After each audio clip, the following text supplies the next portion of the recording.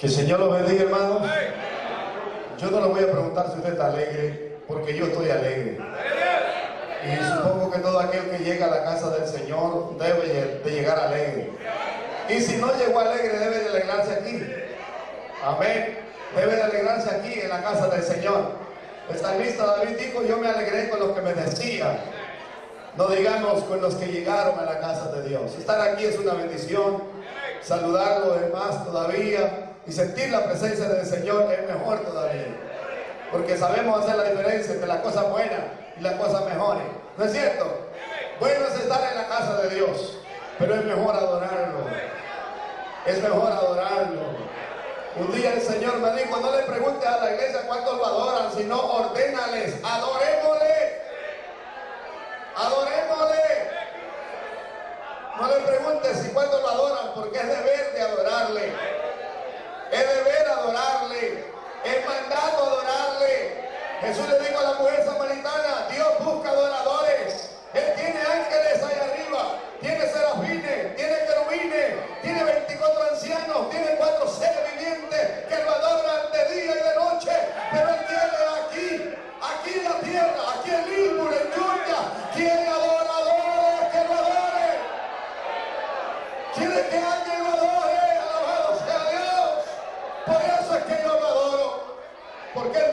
para otra cosa, sino para que lo adorara. Jesús le dijo a la mujer samaritana, viene la hora y ahora es. Esta es la hora de adorar a Dios. Cuando los verdaderos adoradores, ¿cuántos son verdaderos adoradores? Amén, porque hay dos clases de adoradores. Hay un adorador falso y hay un verdadero. El falso adora a Dios solo cuando tiene llena la nevera, la cartera y la chequera.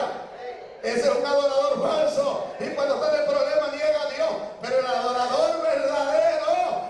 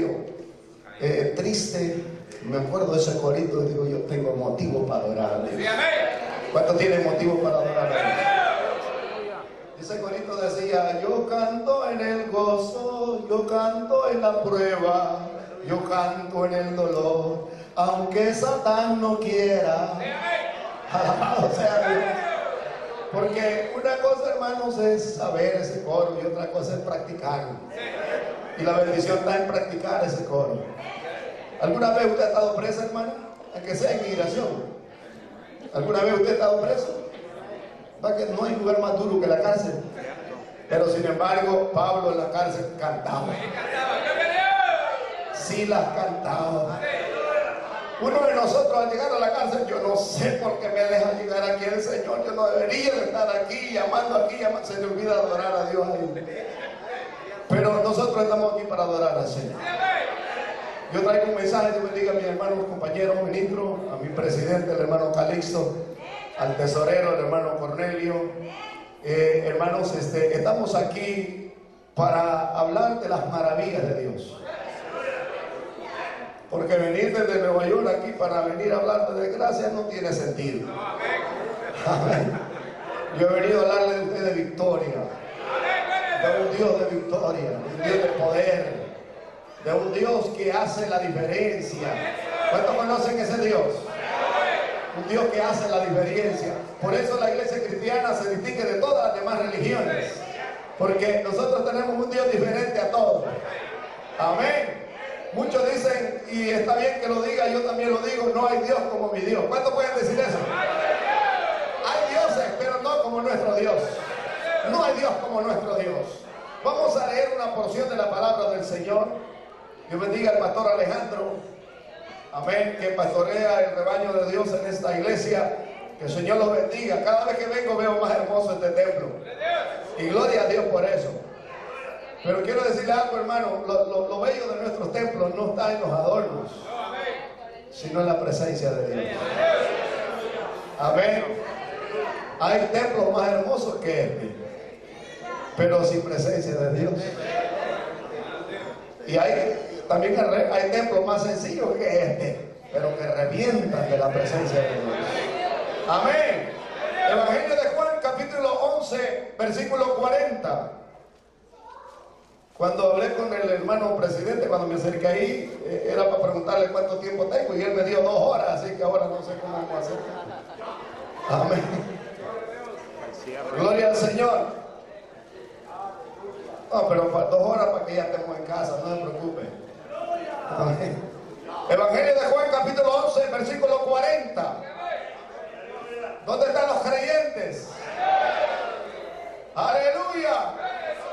Lo leemos honrando a Dios Padre, Hijo y Espíritu Santo. Y a la letra dice, Jesús le dijo, no te he dicho que si crees, verás la gloria de Dios. Palabra del Señor. Tome su asiento, hermano.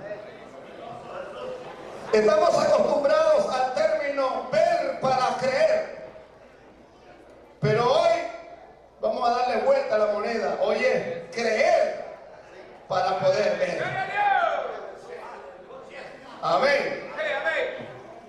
Ver para creer no es fe, sino evidencia. Pero creer para poder ver es fe. Así dice Hebreos capítulo 11, verso 1. Es pues la fe, la certeza de lo que se espera la convicción de lo que no se ve. Porque por ella, ¿por quién? Por la fe, alcanzaron buen testimonio los antiguos de haber agradado a Dios. De modo que lo que vemos fue hecho de lo que no se veía por la palabra de Dios. Y comienza una lista enorme por la fe, dice eh, el escritor de Hebreo, ver, ofreció a Jehová más excelente sacrificio que Caín, su hermano. Por la fe, Noé Dice, hermano, construyó el arca en el cual su casa se salvase. Y por esa fe condenó al mundo y fue heredero de justicias que vienen por medio de la fe. Por la fe Abraham salió de Ur de los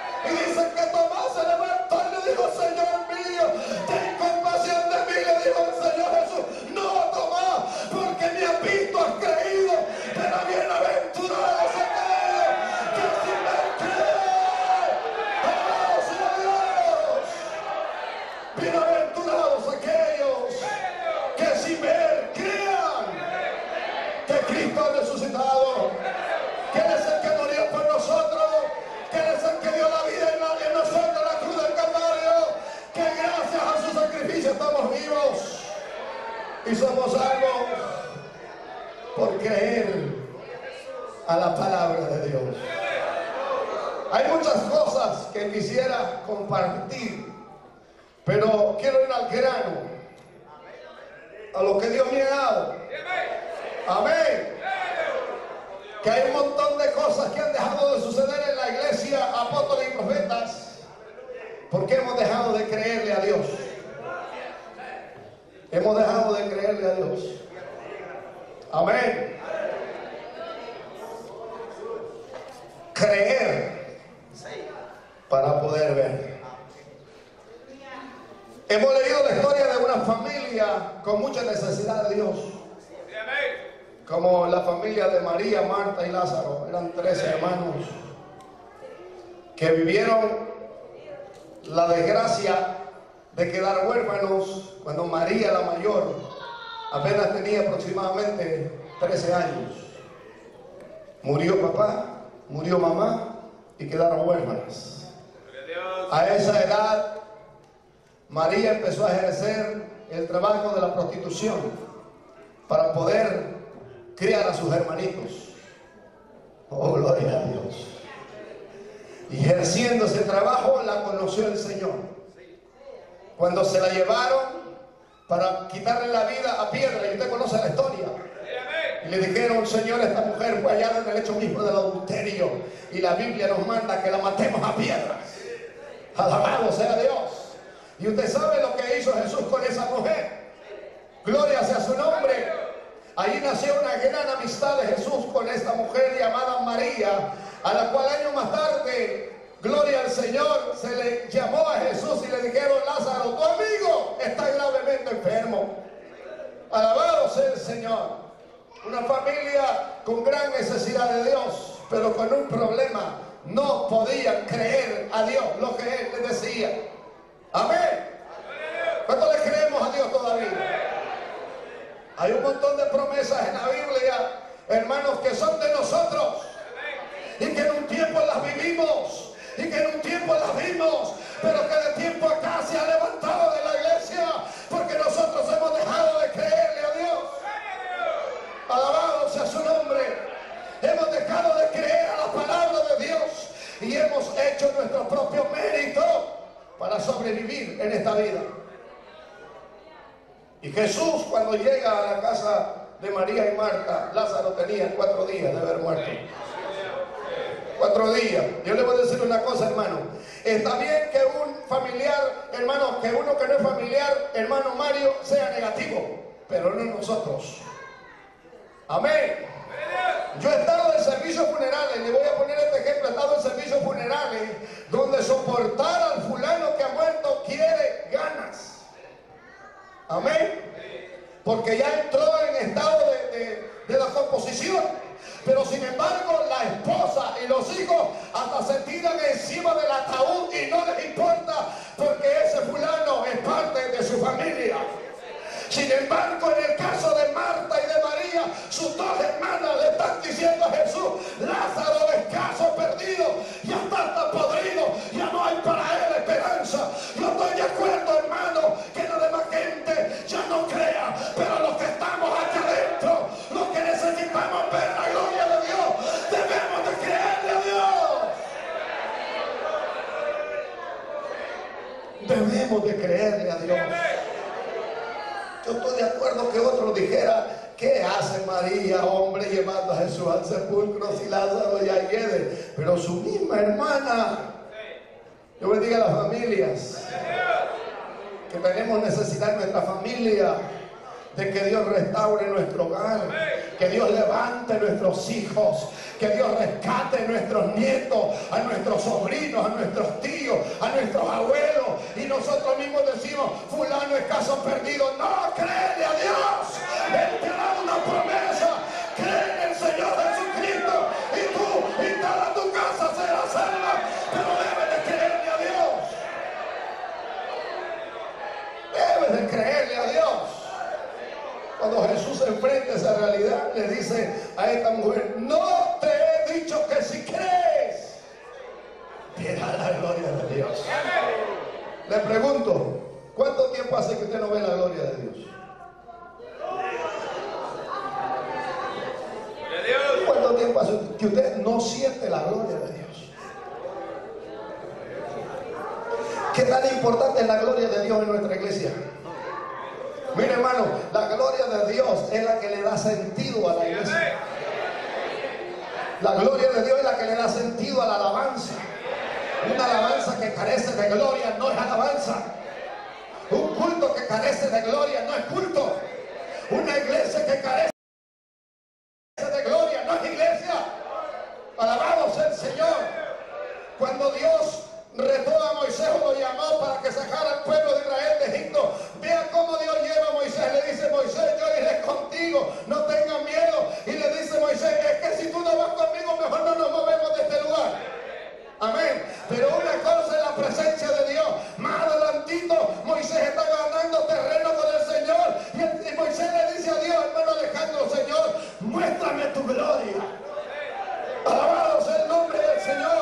Déjame ver tu gloria. Alabado sea Dios. Porque Dios tiene propósitos grandes con este concilio, con esta iglesia, con nuestros ministros.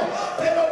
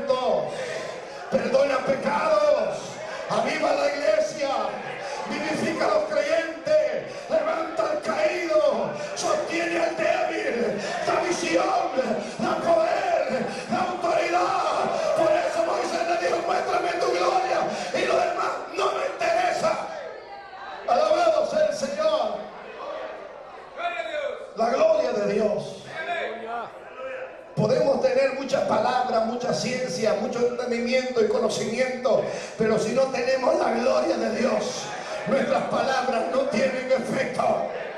Nuestras palabras no tienen poder. Aquí el poder lo pone la gloria de Dios. Aquí el poder lo da la gloria de Dios. Cuando la gloria de Dios desciende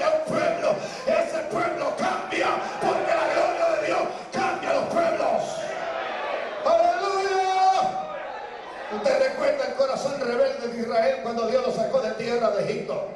Pero cuando Dios le dio sus estatutos, sus leyes y le decretó el santuario, el culto, la adoración, dice que en el primer culto celebrado por Aarón, la gloria de Dios. No la sabiduría de Aarón ni de Leví, la gloria de Dios cayó sobre el altar, gloria sea su nombre,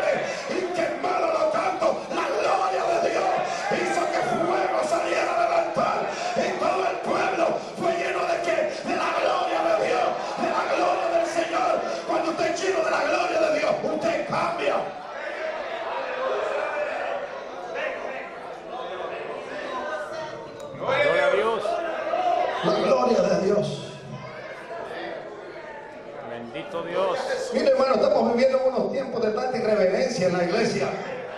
Porque hace falta gloria de Dios. De tanta, hermanos, puedo decir así, eh, incoherencia entre el culto y nosotros. Venimos al culto como si fuéramos para otro lado. Porque hace falta la gloria de Dios. Amén. Miren, la gloria de Dios, hermano, no es necesario que andemos corrigiendo tanto el pecado. La gloria de Dios se encarga. Amén. Amén. La gloria este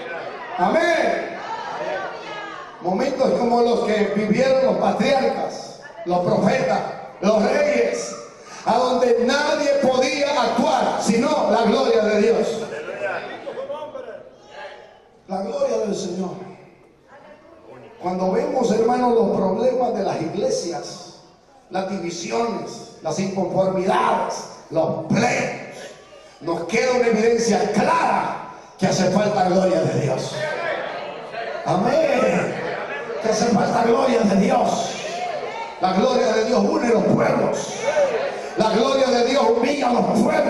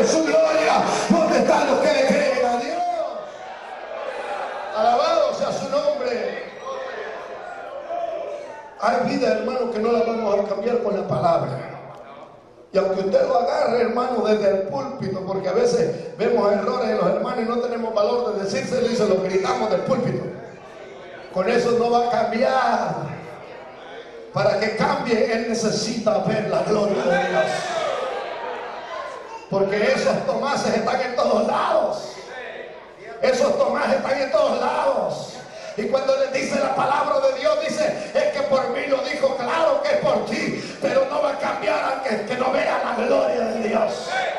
Gloria sea el Señor.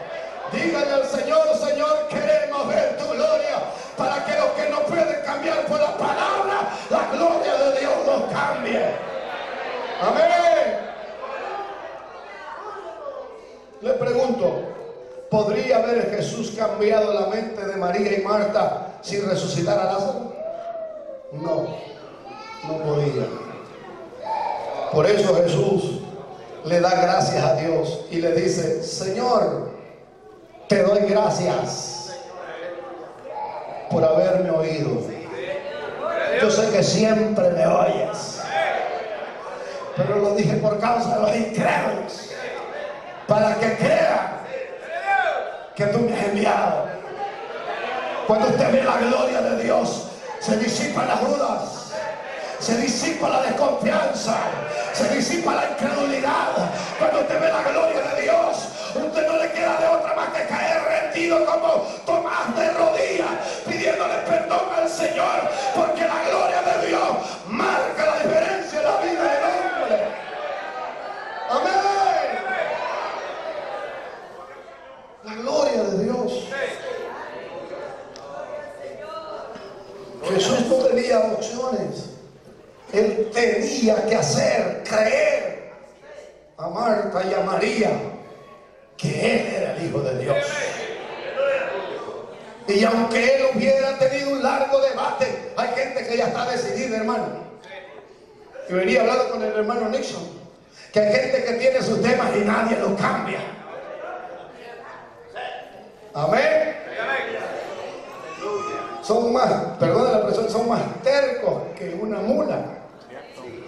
Yo así creo, así me enseñaron y a mí nadie me cambia. Pero si pudiera ver la gloria de Dios, si pudiera ver la gloria de Dios y después hablamos, gloria sea el Señor, y después me cuentas tu experiencia, bendito sea el nombre del Señor. Si no te pasará la mejor, gloria a Dios. Cuando estaba en tremendo suplicio, él decía estas palabras, ¿quién me diera el entendimiento de saber dónde está Dios? Yo iría, le preguntaría y él tendría que responderme. Pero cuando Dios estaba frente de él y le dijo, así que quieres hablar conmigo, pues vamos a hablar. Alabado sea Dios. ¿Dónde estabas tú cuando yo formé los cielos y la tierra? ¿Dónde estabas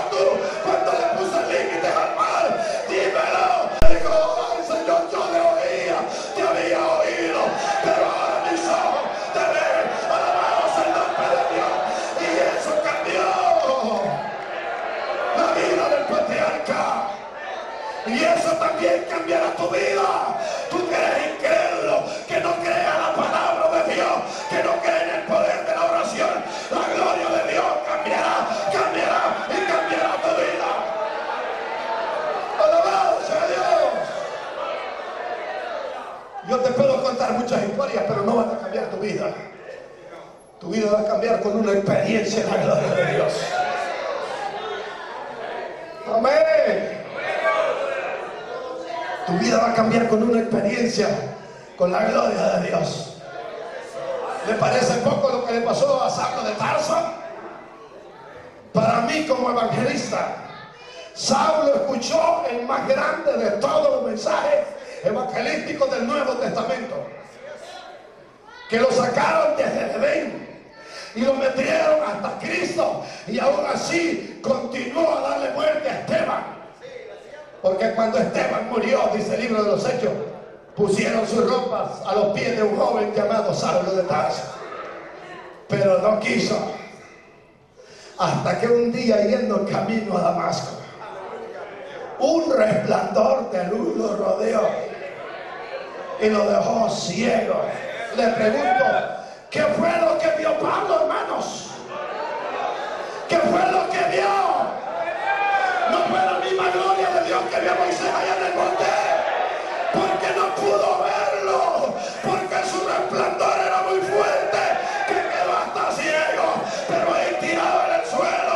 Clamó y dijo, Señor, ¿qué quieres que yo haga? Porque había cambiado al ver la gloria de Dios. Alabado su nombre. nosotros decimos, es que fulano está duro, es que fulano está duro. No, lo que pasa es que no ha visto la gloria. Lo que pasa es que no ha visto la gloria de Dios. El día que aquí se sienta la gloria de Dios, los ateos van a creer en Dios. Oh, gloria sea su nombre. El día que aquí se encienda su gloria, los paralíticos van a salir corriendo. Los mudos van a salir cantando. Los ciegos van a salir viendo. Los sordos van a salir oyendo. Porque eso es lo que sucedía en la gloria que acompañaba a Cristo. Amén. La gloria de Jesús. Miren hermanos, en el Evangelio de Juan capítulo 17, qué maravilloso como Jesús conversa con su Padre. Padre le dice, la gloria que tú me diste, le he dado. Alabado sea el Señor. Estamos vestidos de esa misma gracia, de esa misma gloria, de esa naturaleza. La diferencia es que Jesús creía en su Padre. Y nosotros vivimos creer en Él.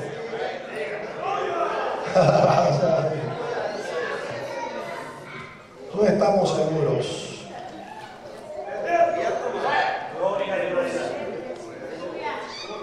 Yo he orado por gente, hermano, por Vienen donde mí me dicen, ore por él, hermano. Ya lo llevamos donde fulano, donde sultano, ya oraron por ellos. Y esos hombres son tremendos y que no ha recibido sanidad.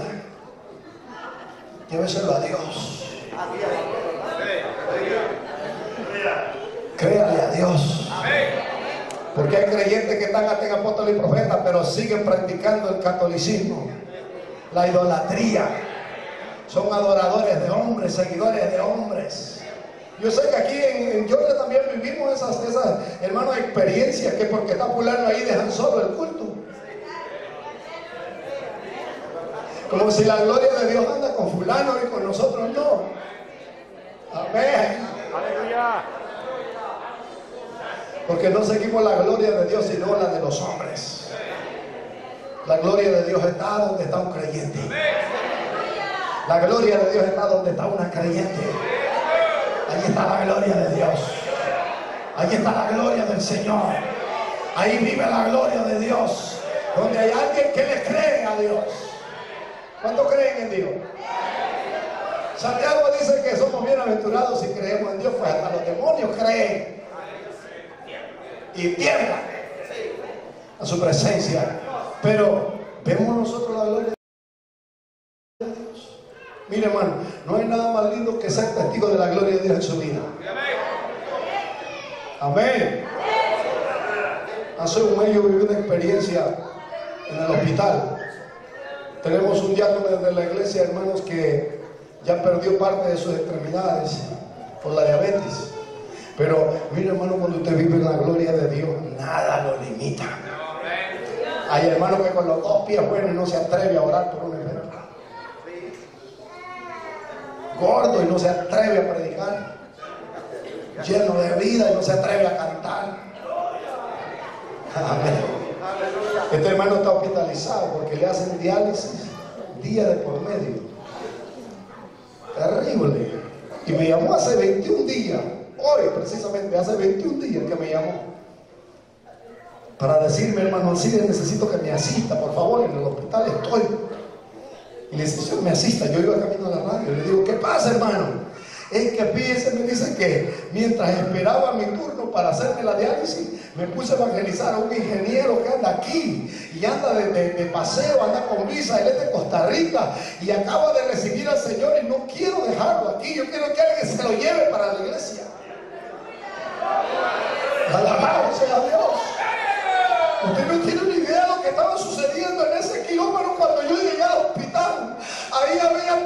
presencia de Dios, pura gloria de Dios.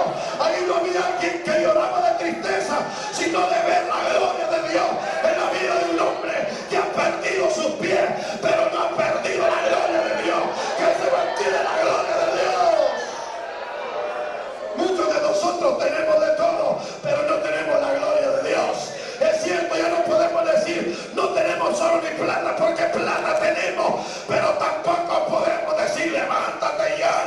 porque tampoco tenemos la gloria de Dios. Alabado sea su nombre. Yo quiero, yo quiero que usted glorifique a Dios de verdad. Porque ese arquitecto ha prometido que en Costa Rica, en la ciudad donde viene, vamos a abrir una obra. A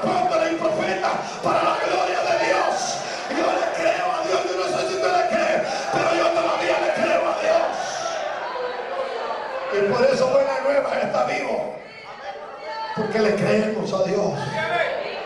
¿Cuántos creen que esto es de Dios? Sí, es de Dios. Y si usted le cree a Dios, usted va a ver la gloria de Dios. Atrévase a creerle a Dios. Amén. Cuando usted le, le detecte una enfermedad, atrévase a creerle a Dios, hombre. Hay hermanos que cuando le dicen, tienes un quiste, tienes un cáncer, un tumor, antes del tiempo se muere. Ya tenía 10 años con el tumor, pero como no le habían dicho, no sentía nada. Hoy, como ya sabe, se va a morir antes del tiempo.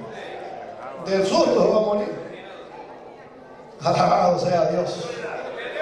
Pero no aquel que le cree a Dios. Amén. No aquel que le cree a Dios. El miércoles trabajaba con un patrón y me contaba su historia. Que estaba en la peluquería cuando su espíritu salió de su cuerpo. Y el peluquero le estaba cortando el pelo y él tenía las orejas moradas y los labios morados. Y dice que el peluquero pensaba que era que estaba, hermanos, este, dormido de cansancio. Usted sabe, nosotros como buen salvadoreño, hermanos, este, dejamos la cortada del pelo para de último. Cuando ya no podemos ni la cabeza.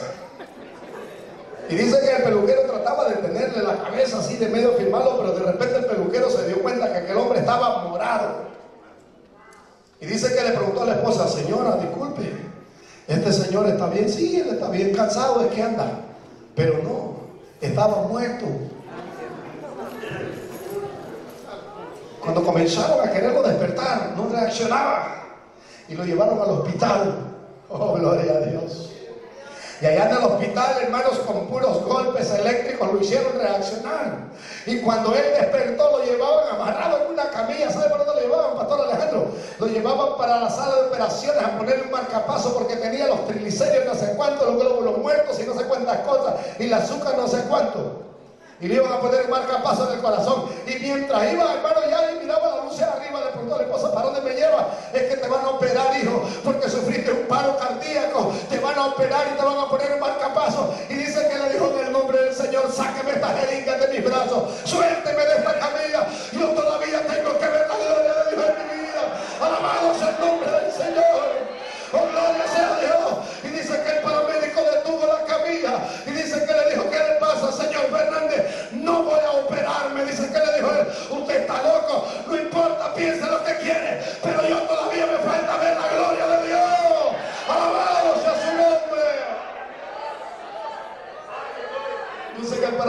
El médico delante de él rompió los papeles y le dijo, si usted se muere, muérase, es su gusto. Dice que le dio la mano, le dijo, Dios le bendiga, le agradezco por la intención, pero yo necesito ver la gloria de Dios en mi vida. Oh, gloria sea el Señor. Era un día martes, culto de oración, y se fue para la iglesia. Cuando él llegó a la iglesia, estábamos a punto de iniciar el culto.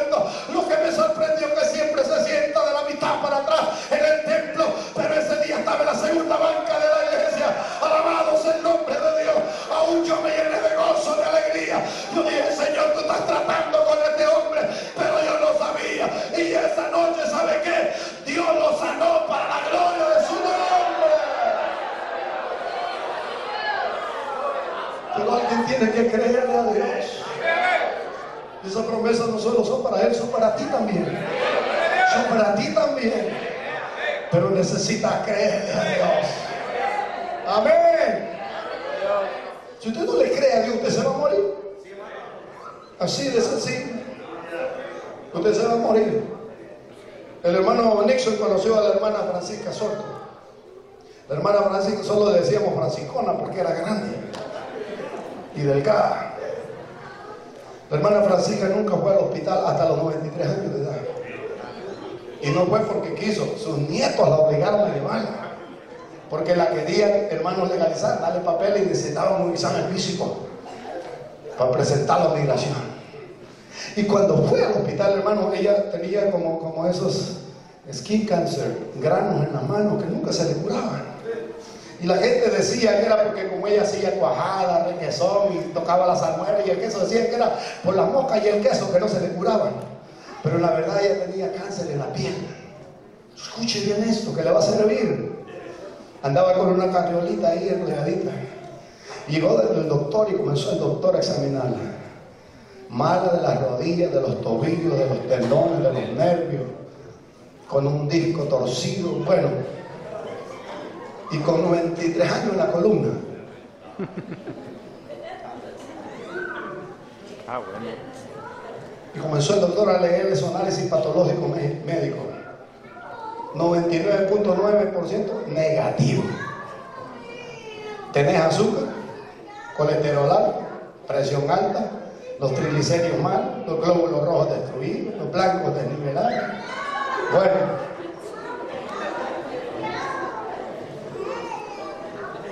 terrible.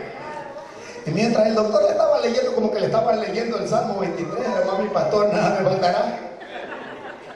Comenzó a danzar y a hablar en lengua. En el consultorio del doctor.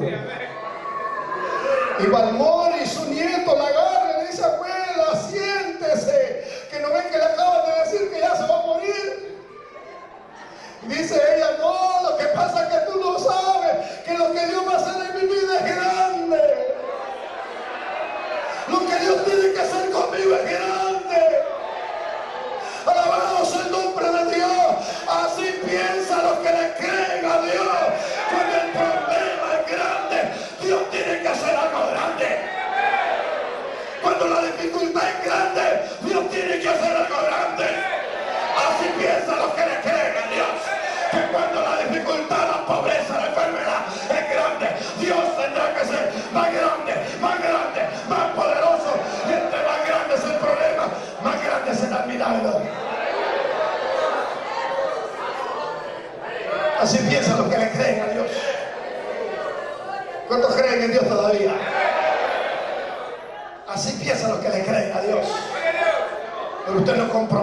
En Dios. Si usted cree en Dios, manténgase firme, porque el diablo quiere que usted niegue a Dios. Amén. Usted sabe que antes no era prohibido leer la Biblia en las escuelas. Hasta el año 1965. No tenemos tiempo para entrar en detalle, pero fue en ese año que se comenzó a prohibir la lectura de la palabra de Dios. Y lo único que ha nación son los diez mandamientos en la Corte Suprema de Justicia que están en debate por sacarlos. ¿Lo quieren sacar de ahí? Es lo único que ha quedado. Lo único. Y están peleando por sacarlo. Y yo sé que lo van a sacar. Porque si ya sacaron a Dios del corazón, no tiene nada de extraño que saquen esos diez mandamientos. Amén. Hace cinco años murió la mujer que protagonizó la refulca con la que lograron sacar la Biblia de la escuela. ¿Y sabe quién la mató? Un estudiante patético que necesitaba de la palabra de Dios y ella se la negó. Ese mismo la mató. Amén. Así dice la Biblia, el impío cava hoyo y cae en él. Alabado sea el nombre de Dios.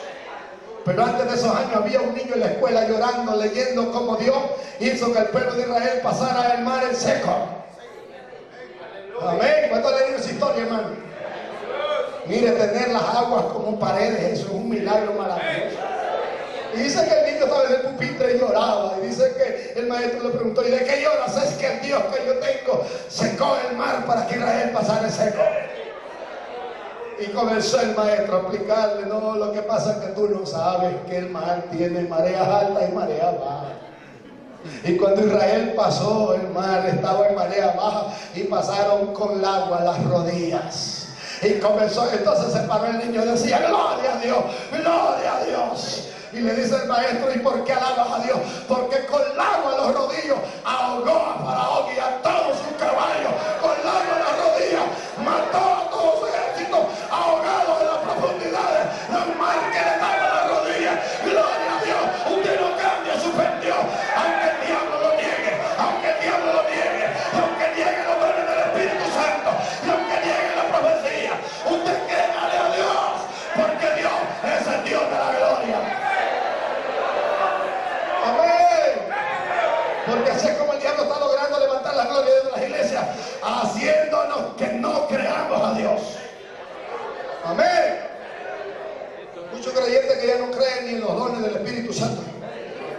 Ya no creen en la profecía. Ya no creen en los sueños, ya no creen en las visiones, ya no creen en las interpretaciones de espíritu, ya no creen en nada. Si no se ha ido de la iglesia porque le da vergüenza, pero ya no le creen a Dios. Incrédulos. Alabado sea Dios. Pero usted tiene que ser creyente todo el tiempo. Créale a Dios. Porque lo primero que el diablo hace cuando usted cuenta las maravillas de la gloria de Dios es decirle que lo han engañado. Que eso es mentira. ¿Se acuerdan lo que hicieron con Bartimeo? Bartimeo cuando el Señor lo sanó, no se conformaron con escuchar el testimonio de Bartimeo, lo fueron a buscar hasta la casa con los Y allá tocaron la puerta de la casa. Es cierto que Bartimeo es nuestro hijo, sí es nuestro hijo. Y es cierto que nació ciego, sí es cierto, nació ciego. ¿Y quién lo sanó? Bueno, dijeron su padre, sabemos que es nuestro hijo y que nació ciego. Pero quién lo sanó no sabemos, pero él tiene las preguntas. Amén. Y se fueron sobre Bartimeo y dijeron, ¿quién te sanó? Y él dijo, un hombre que venía en la multitud, que su nombre es Jesús, él me sanó. ¿Y sabe qué le dijeron? No digan que fue Jesús, porque ese Jesús es malo. Y dijo Bartimeo, yo no sé si él para ustedes es malo. Lo único que yo sé es que yo era ciego. Y ahora veo por qué él me abrió los ojos. Alabado sea Dios. Si Dios te ha salvado, ¿cuánto ha salvado el Señor?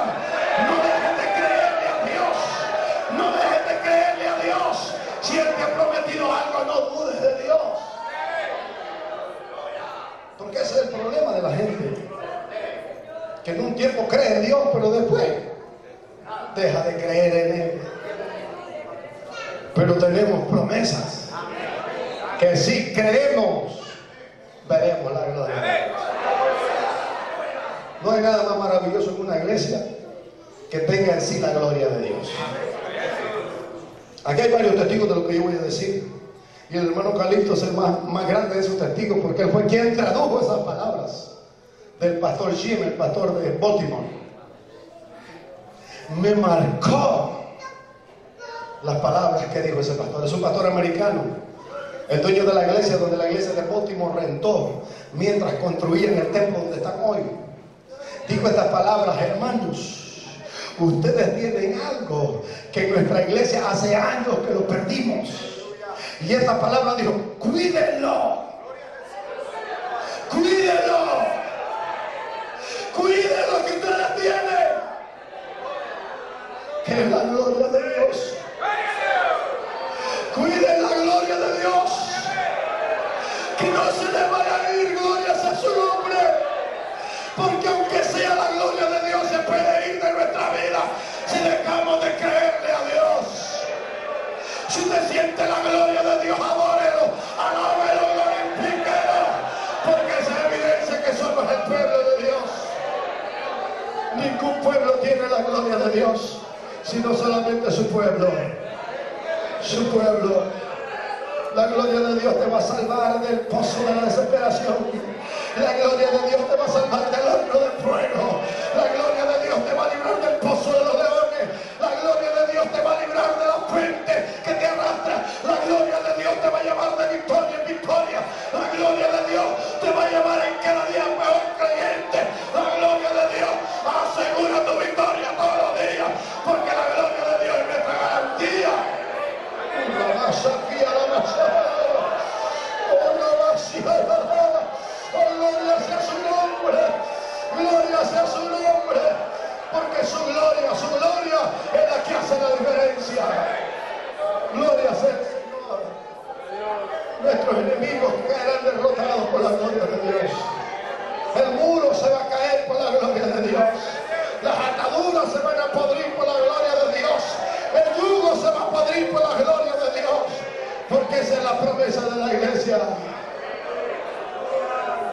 Nadie te podrá hacer frente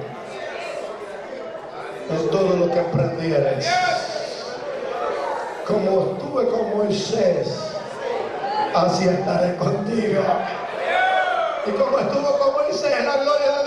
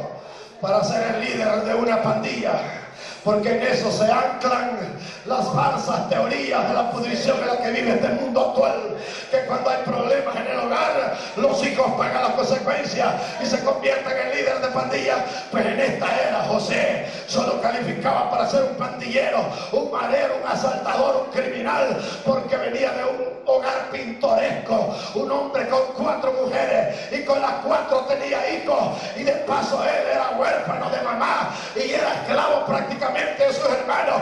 No podían hablarle pacíficamente, le contaba sueños a ellos y los odiaba, se lo contaba a su padre y lo odiaba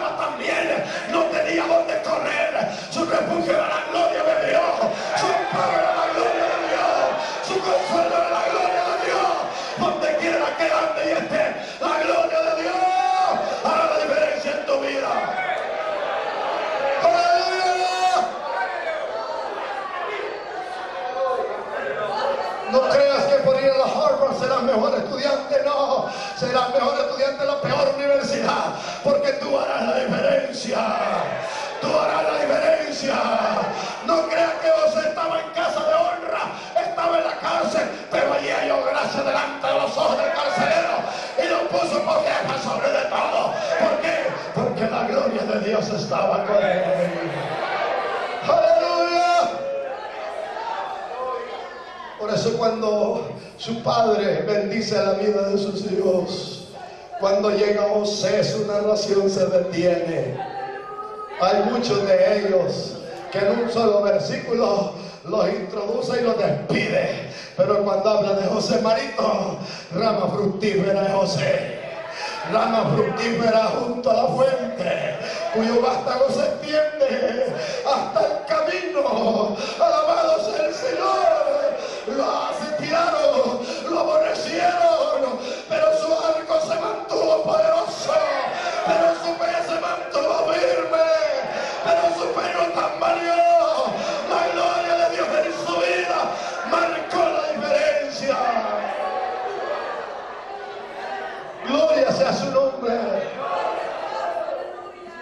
Encanta, hermanos, considerar la vida de José como la gloria de Dios hizo la diferencia en él.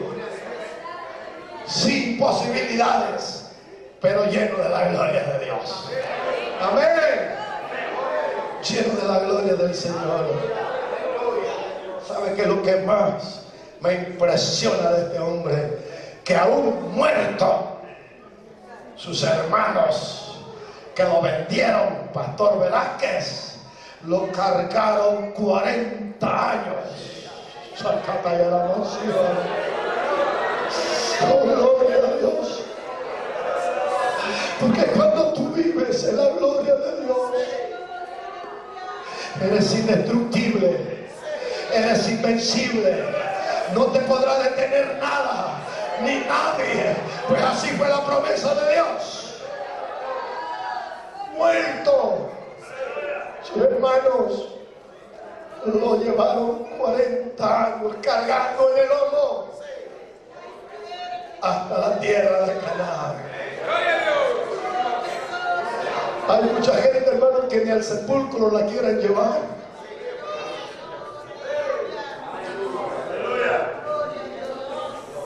No quieren ni lidiar con él. Porque no tienen nada que dejar. Pero José tenía la gloria de Dios.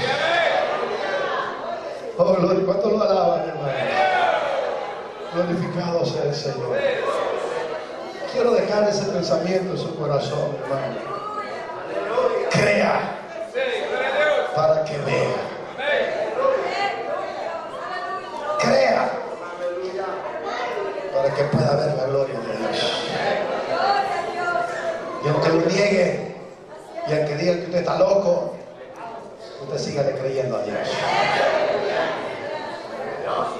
Dios bendiga a los que vienen a los cultos de oración. Muchos creen que los pulmones de la iglesia son los ricos que dan dinero. Pero yo creo que los pulmones de la iglesia son los que vienen aquí a buscar a Dios en oración.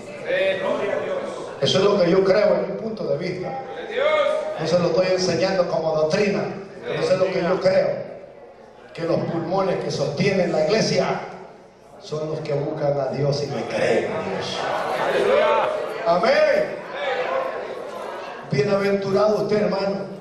Bienaventurado usted, hermana, que se mantiene creyendo que apóstoles y profetas continúan. Yo le voy a decir algo, estoy cansado ya de escuchar gente que dice que en 5 en 10 años apóstoles y profetas van a desaparecer mientras hayan creyentes que le crean a Dios. Apóstol y profeta va a seguir. Apóstol y profeta va a seguir. Porque estoy de acuerdo con lo que dice en Apolo capítulo 1 versículo 27 que es el libro de la mitología griega, que dice cuando la gente deje de creer en Apolo, Apolo dejará de ser Dios. Quiero decir una cosa, cuando usted deje de creer en Dios, usted dejará de ver la gloria de Dios. Pero Dios seguirá siendo Dios. Amén. Pero Dios seguirá siendo Dios. Así que el problema está en nosotros. Creámosle a Dios. Creámosle a Dios. Seamos creyentes. Pidámosle a Dios por el avivamiento en la iglesia. ¿Cuántos creen que el avivamiento es promesa de la iglesia? Sí, Joel 2.28 lo dice claramente. Y en aquellos días yo derramaré de mi espíritu sobre toda carne. Estos son los días de los que fue el profeta las vísperas de la venida de Cristo. Cristo está, cerca, hermano. Está cerca, Cristo está cerca. Y cuando alguien le cree a Dios, hermano, vuelvo y le repito, es invencible. Ayer por la tarde me llegó un correo electrónico, escuche bien esto, de un hombre en El Salvador. No tuve el tiempo para indagar, pero tengo la información. Que en el año 1998 Dios le habló que hiciera un túnel hacia el corazón de la tierra. Oiga bien, en 1998, estamos hablando que 17, 18 años, o 18 años, que comenzó a cavar un túnel, porque Dios le dijo que lo cavara. El periodista salvadoreño, tratando de llegar al fondo de ese túnel, se quedó sin oxígeno, él, su camarógrafo y el guía. Y cuando le preguntaron al que está haciendo el túnel cuánto faltaba, dijo que aproximadamente una hora más para llegar al final. Hasta hoy día nadie conoce el final de ese túnel, es un misterio. Y le preguntan a él, ¿y cómo aguanta usted para llegar hasta el fondo del túnel? Trabaja de las 3 de la mañana hasta las 7 y a las 7 sale y se va a trabajar al campo. Escuche bien esto. Yo no sé si es realmente que Dios le habló o no, ni lo estoy predicando, pero escuche esto. Cuando le dijeron a él, ¿cómo hace usted para aguantar ir hasta el fondo de este túnel, trabajar y salir sin problemas y nosotros sin trabajar, sin llegar hasta el fondo? No pudimos soportar la presión, el calor y la falta de oxígeno. ¿Cómo hace usted? Y le dijo él, es que ustedes no le han creído a Dios. ¡Aleluya! A ustedes no los ha llamado Dios. Sin embargo, a mí no me falta ni el oxígeno, ni me falta la temperatura. Llego, trabajo tres horas y luego subo. Y no creo usted que sube vacío, cargado con la tierra, porque toda la tierra que está escapando la saca hasta afuera. Increíble. Pero el que cree, lo ve. Amén. Tremendo. Creer en Dios es la fuerza de la iglesia. Amén. El día que usted deje de creer, ese día va a comenzar a morir. Amén. Porque la fe es la vida de la iglesia, hermano. Una iglesia sin fe es muerta. Amén. Una iglesia sin fe es muerta. Yo no predico el mensaje creciendo en gracia, pero sí predico el creciendo en fe. Porque la fe se debe de desarrollar en la iglesia. ¿Cuántos tienen fe, hermano? Yo espero verlo usted moverse por fe. Por fe. Por fe. La fe es la que hace la diferencia. Yo quiero hacer una oración en esta noche. Por diversas necesidades, diría yo. Porque hay enfermos. Porque hay necesidades diversas.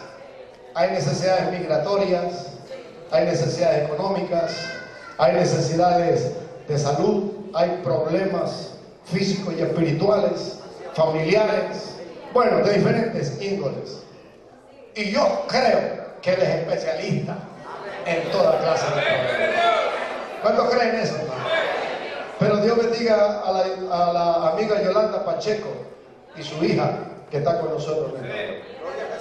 Tienen una oportunidad de oro que Dios les da para que lo reconozcan a Él como el único Dios verdadero. Yo predicaba en la iglesia del hermano Rivera en North Chicago y le decía a un mexicano, dale una oportunidad a Dios.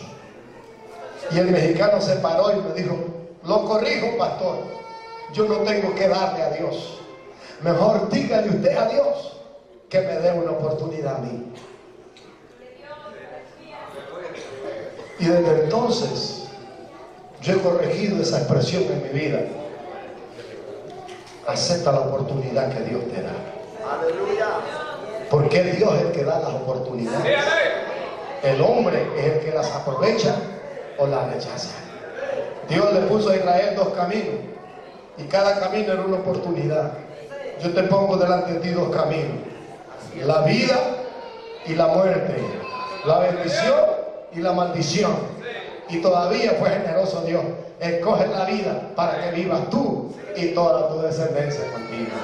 Que Dios bendiga a Yolanda Pacheco.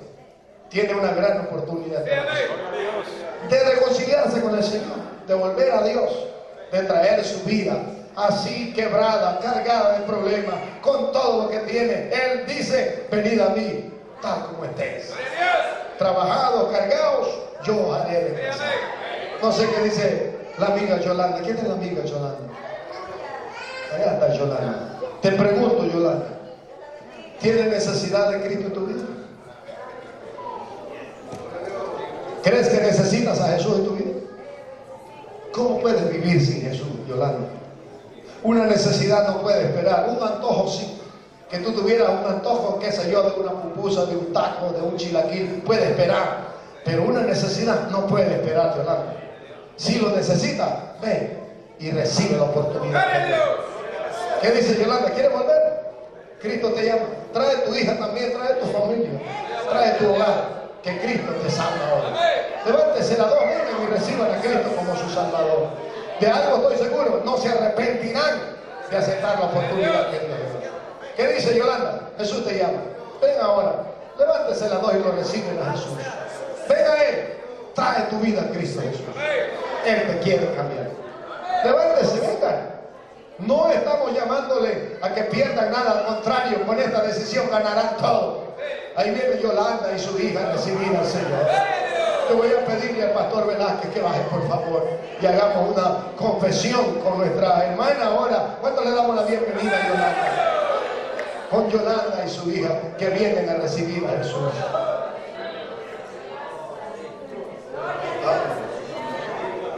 El pastor va a hacer una oración contigo. Aleluya. Gloria a Jesús. Gloria a Dios.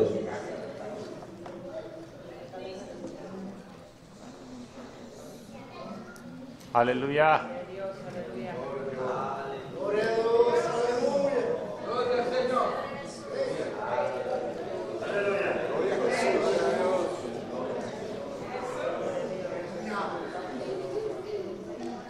Amén. Gloria al Señor.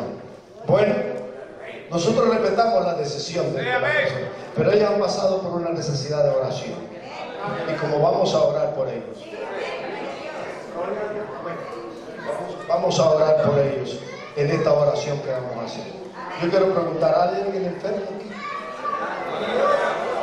No se levante todavía que yo le quiero hacer una pregunta. ¿Cree usted que Dios lo puede sanar? Entonces levántese. Si cree, levántese. Porque esa es la regla del Señor.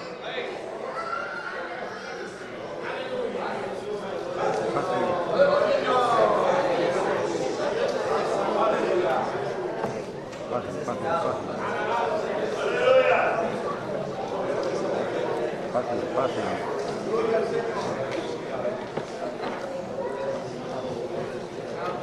Gloria al Señor.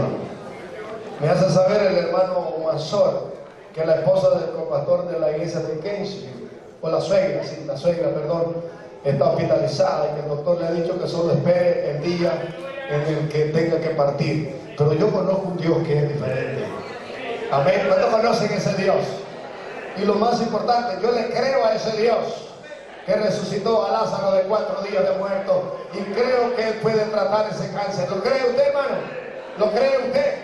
Pues vamos a orar por esa hermana que está hospitalizada, como también por todas las necesidades. Gloria sea el Señor. Desconocemos la necesidad de Yolanda y de su hija, pero Dios la sabe. Gloria al Señor. Así que el pastor Velázquez y yo